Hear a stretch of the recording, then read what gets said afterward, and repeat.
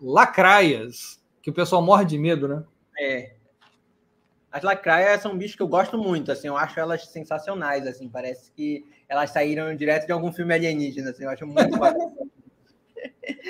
Mas o pessoal morre de medo delas, assim. Eu acho que é o número de pernas, o jeito caótico que elas saem correndo, ou tudo junto, né?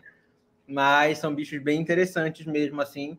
É, muita gente não sabe, mas elas injetam a peçonha pelo um par de pernas modificado, que é aqui na frente, na verdade. O pessoal pensa que é aquelas que ficam levantadas, maiores ali atrás, mas na verdade são perto da boca. São duas pernas modificadas chamadas forcípulas, que tem, são ligadas com umas glândulas de veneno, e aí elas utilizam isso para paralisar e ajudar na digestão das presas.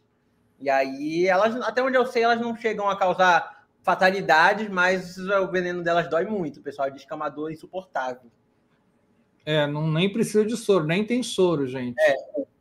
Né, tem que cuidar da higienização do local, tá? Lembra disso. Uhum. Porque muitas vezes a pessoa esquece do, do básico, que é lavar o local. E aí você tem uma infecção bacteriana de bobeira. Né? As pessoas ficam, acho que, muito voltadas para o soro e esquecem, do, do, às vezes, do básico. Né? E, e por exemplo, lacraia tem muito no lixo. A gente, infelizmente, é. tem muito morador de rua. Pois é.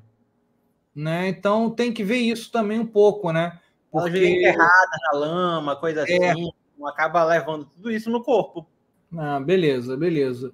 Acho que lacraia é isso, porque não tem soro, não tem grandes problemas, dói um é, bocado. É, isso, é o negócio delas é, é, isso, ter bater os sapatos, ficar do lado de fora, ter cuidado, tipo assim, ah, tem muito, tem muito mato, tem lacraia que aparece, não deixar roupa pelo chão, toalha, essas coisas. O acidente com elas é assim também, tu pressiona elas contra a pele e na defesa elas vão acabar, vão acabar causando os acidentes.